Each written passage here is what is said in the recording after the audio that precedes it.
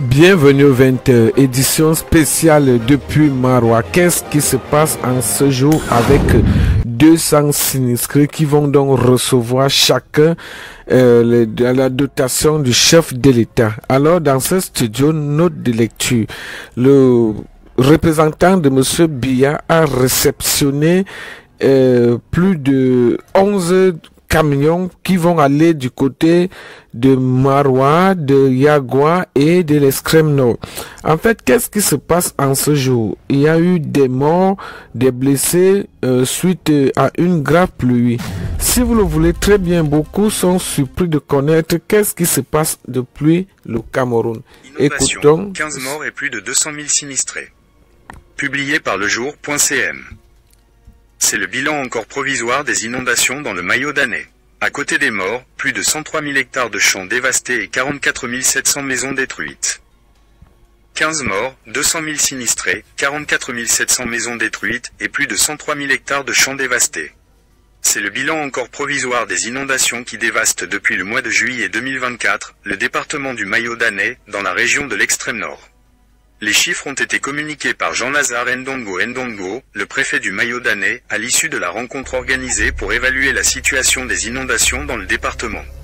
Selon l'autorité administrative, les arrondissements les plus touchés sont Yagua, Maga, Kaikai et Vélé. Dans les quatre arrondissements, la situation est critique selon le préfet du Mayo d'Année. Dans ce lourd bilan, 13 établissements secondaires sont sous les eaux et 185 écoles sont également inondées. Sur le terrain, les eaux continuent de montrer avec l'augmentation des eaux du Logon. Comme mesure d'urgence, le préfet du Maillot d'année en convoquant les organisations non gouvernementales, les élus locaux et associations caritatives et d'avoir en urgence des tentes, du matériel de couchage, des denrées alimentaires et surtout des médicaments de premier secours. Pour cela, Jean-Lazare Ndongo Ndongo implore la solidarité pour les victimes des inondations dans le Maillot d'année. L'heure n'est pas au discours et autres. Il faut agir. Nous avons transmis à la hiérarchie les doléances et ce dont nous avons besoin en urgence pour les populations. Nous avons déjà commencé à installer les sinistrés dans des zones sécurisées. Il faut agir et en urgence, insiste le préfet du Maillot d'année. Pour l'autorité administrative, il y a surtout urgence pour les enfants et les femmes qui se chiffrent à plus de 35 000 âmes qui nécessitent un suivi particulier. Dans la journée du mardi 10 septembre 2024, le préfet du Mayo d'année à la tête d'une forte délégation dont le directeur général de la SEMRI, Fissou Kouma et Laoumé Melroy, le coordonnateur du projet Viva Logon ont visité les arrondissements de Kaikai et Maga. Ici, la situation est critique et le niveau d'eau continue toujours à monter chaque jour. Nous sommes là pour évaluer la situation des sinistrés des inondations qui, à la faveur des pluies diluviennes, ont submergé les terres et les espoirs d'une population déjà habituée aux caprices du ciel, fait savoir le préfet.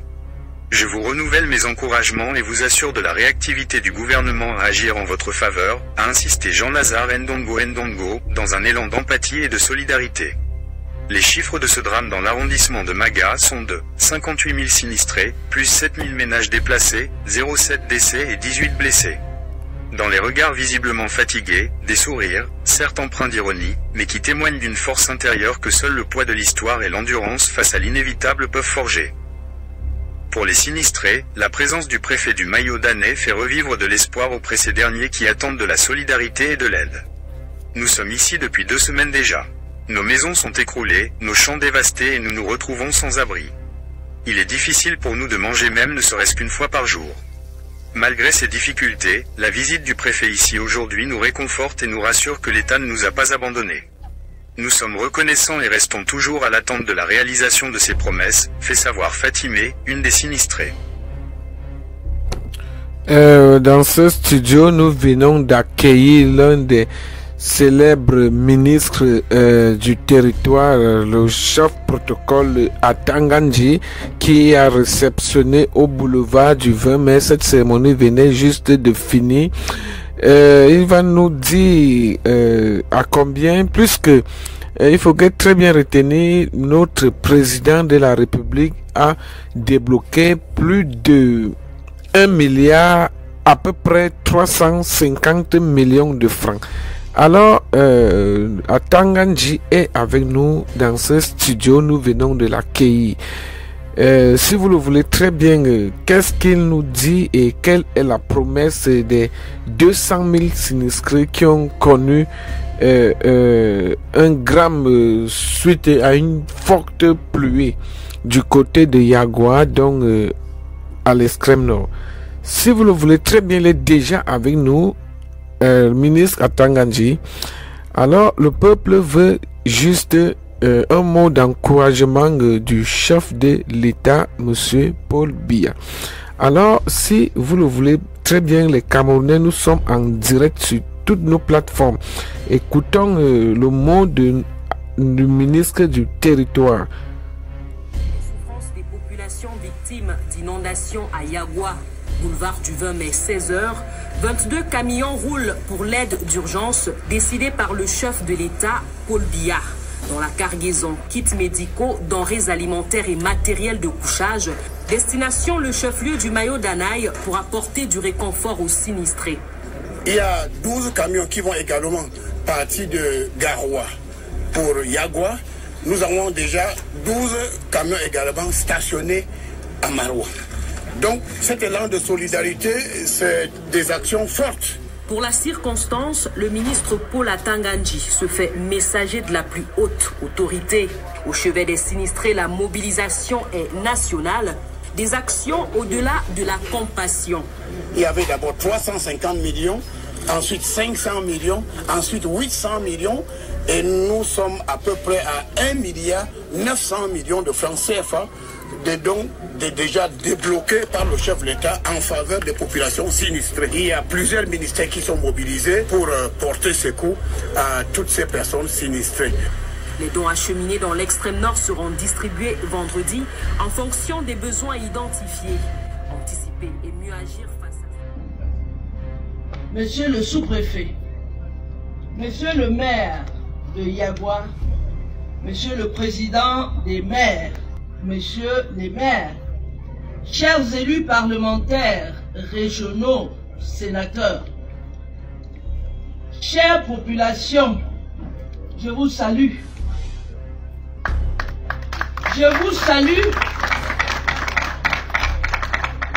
et je voudrais saluer la présence de notre Lamido qui a fait la descente avec nous.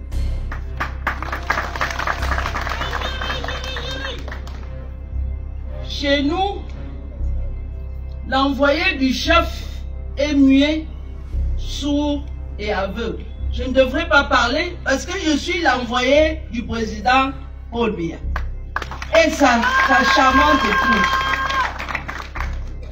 Je n'ai pas prévu le discours parce que la mission que le chef de l'État, à travers le Premier ministre, chef du gouvernement, m'a prescrite lorsque je quittais la capitale, c'était de venir par la présence du gouvernement retémoigner les condoléances du chef de l'État et son épouse, du gouvernement, du peuple camerounais. J'étais porteuse également des directives de voir ce qui se passe à Yagua, des dégâts causés par ces eaux du fait des pluies diluviennes, de la sortie des eaux de leur euh, lit et de proposer les solutions.